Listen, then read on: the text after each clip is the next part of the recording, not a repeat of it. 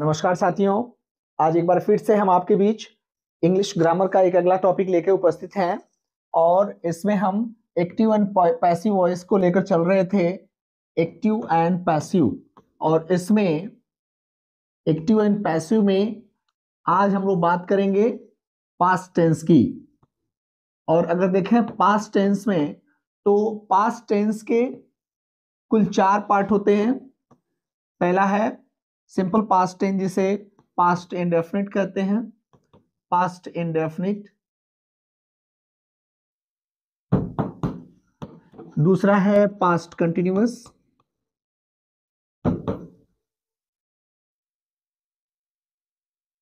तीसरा past perfect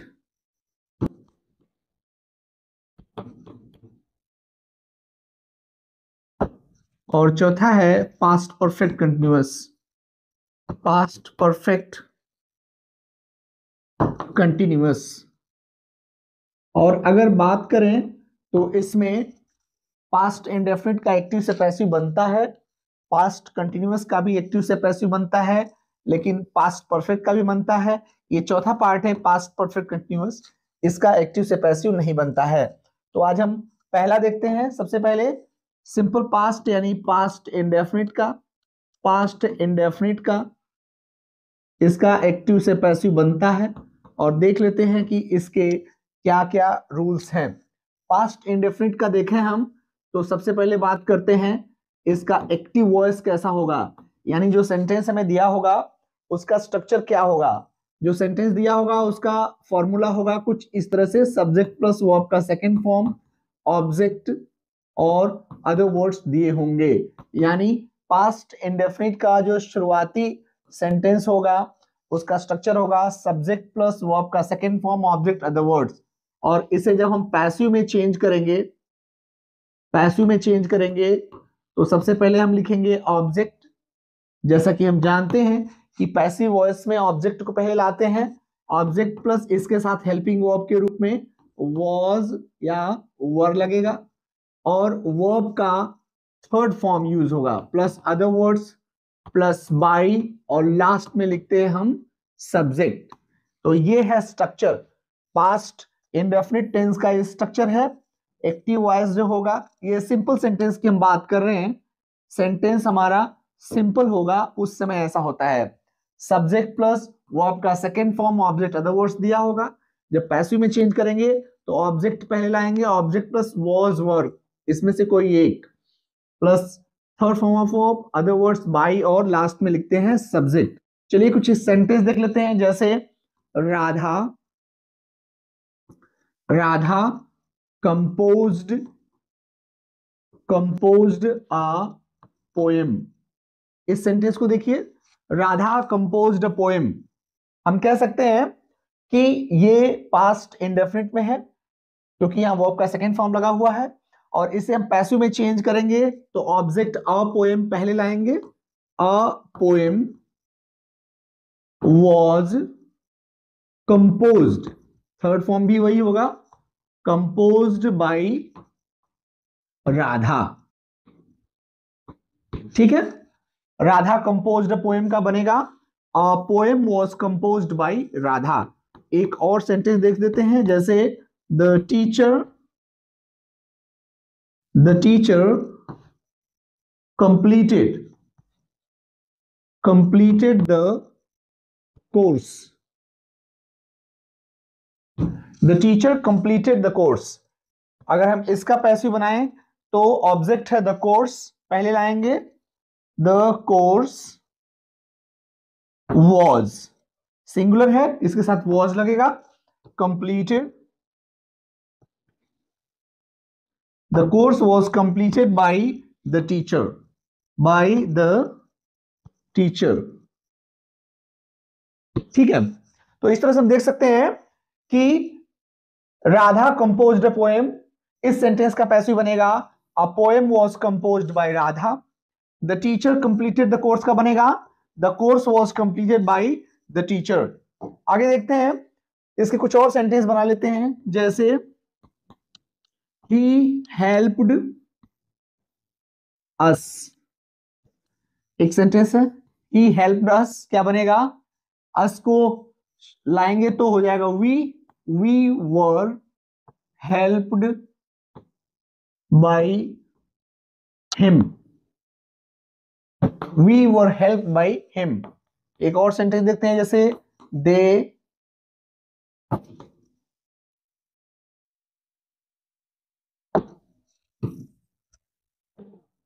दे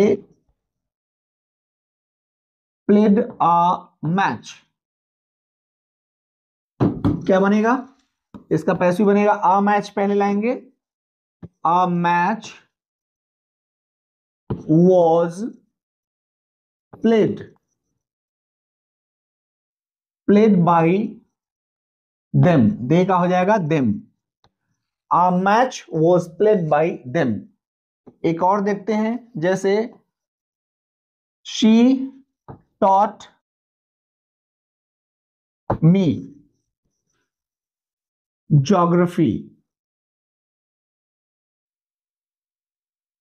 ये sentence देखिए शी टॉट मी जोग्राफी क्या बनेगा?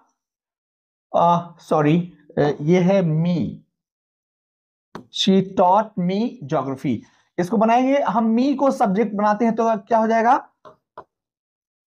आई हो जाएगा। I was taught geography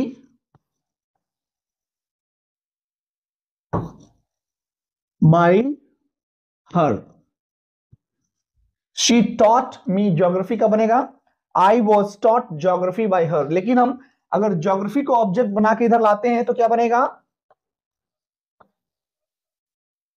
Geography was taught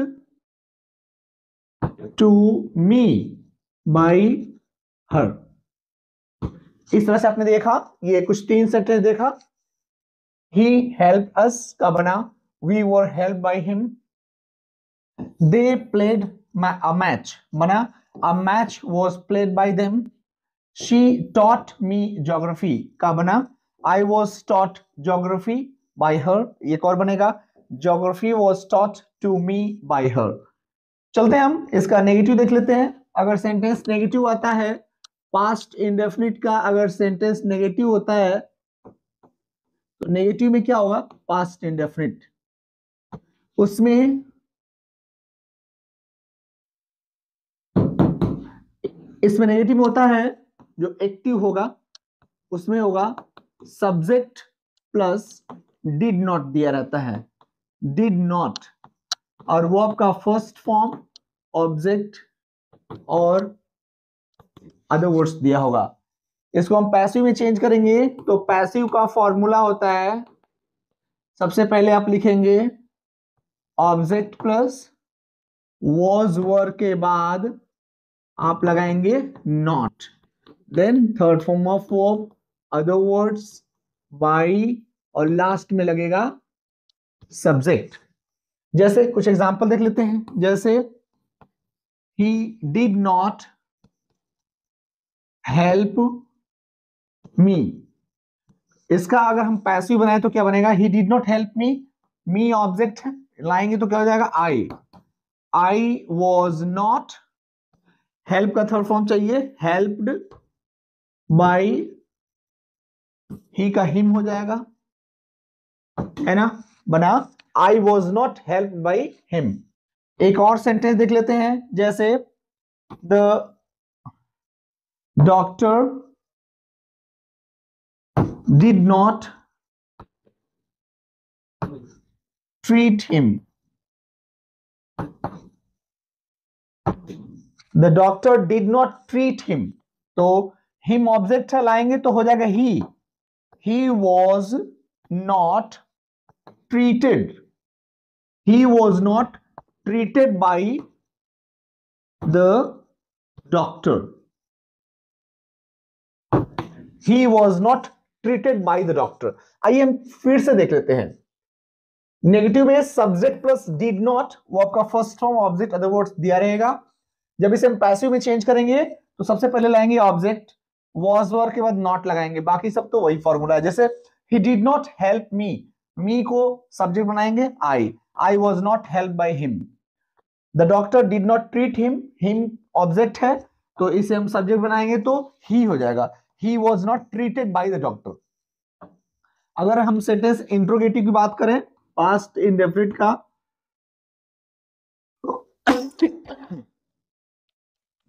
interrogative and negative. Interrogative and negative में क्या होता है कि अगर हम एक्टिव की बात करें, जो सेंटेंस का स्ट्रक्चर होगा डब्ल्यू एच वर्ड पहले हो सकता है, नहीं तो डीड पहले होगा, फिर होगा सब्जेक्ट नेगेटिव भी है तो नॉट होगा, वो आपका फ़र्स्ट फॉर्म ऑब्जेक्ट और अदर वर्ड्स दिया रहेगा। लास्ट में लगाते हैं क्वेश्चन मार्क ये हमारे सेंटेंस का स्ट्रक्चर होगा। अगर हम इसे पैसिव में चेंज करते हैं तो फॉर्मूला है कि पैसिव भी डब्ल्यू एच वर्ड से स्टार्ट होगा, लेकिन ऑब्जेक्ट के हिसाब से लगेगा वॉज़ या वर तो लगाएँगे वॉज़ या वर देन लिखेंगे ऑब्जेक्ट और अगर नॉट भी है तो लगा दीजिए, नहीं तो वो आपका थर्ड फॉर्म लिखिए। Plus other words plus by और लास्ट में आएगा सब्जेक्ट क्वेश्चन मार्क तो रहेगा ही रहेगा। जैसे why did Ram play chess देखिए, बहुत सिंपल सेंटेंस लिए है। Why did Ram play chess इसमें नेगेटिव नहीं है। तो डब्ल्यू एच वर्ड से स्टार्ट है। लिख दीजिए वाई अब डिग नहीं लिखेंगे। चेस के हिसाब से वॉज़ वर्ड लगाएँगे। इसके साथ वॉज़ लगेगा। वाई वॉज़ चेस प्ले का थर्ड फॉर्म चाहिए। Played by Ram question mark है ना? बना why was chess played by Ram है ना? कुछ और इंट्रोगेटिव देख लेते हैं, जैसे who did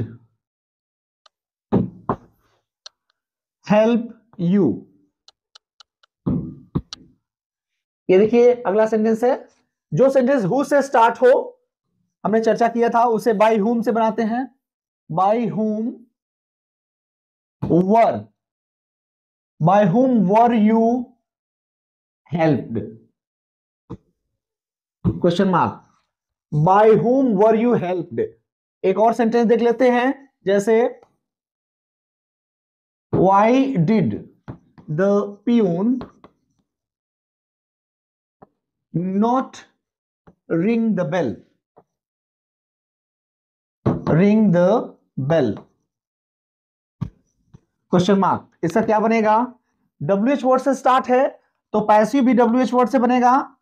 Y was object है the bell the bell not और रिंग का थर्ड फॉर्म क्या चाहिए? रंग हो जाएगा। Why was the bell not rung by the peon question mark फिर से देख लेते हैं। हु डिड हेल्प यू का पैसिव बनेगा by whom were you helped why did the peon not ring the bell इसका पैसिव बनेगा वाई और द बेल ऑब्जेक्ट है उसके हिसाब से वॉज़ वर लगे was why was the bell not rung by the peon चलिए तो ये था पास्ट इंडेफिनिट अब हम बात करेंगे पास्ट कंटिन्यूस का। अगर हम देखें पास्ट कंटिन्यूस का पास्ट कंटिन्यूस में जो सिंपल सेंटेंस होगा सिंपल सेंटेंस का स्ट्रक्चर कुछ इस तरह से होता है एक्टिव का, कि सब्जेक्ट दिया होगा प्लस साथ में होगा वॉज़ या वर और फिर वर्ब का आईएनजी फॉर्म ऑब्जेक्ट और अदर वर्ड्स दिया होता है। जब इसे हम पैसिव में चेंज करते हैं, पैसिव का फॉर्मूला होता है, सबसे पहले हम लिखते हैं ऑब्जेक्ट और ऑब्जेक्ट के बाद लिखते हैं ऑफ़ कोर्स वॉज़ वर तो लिखा ही जाएगा।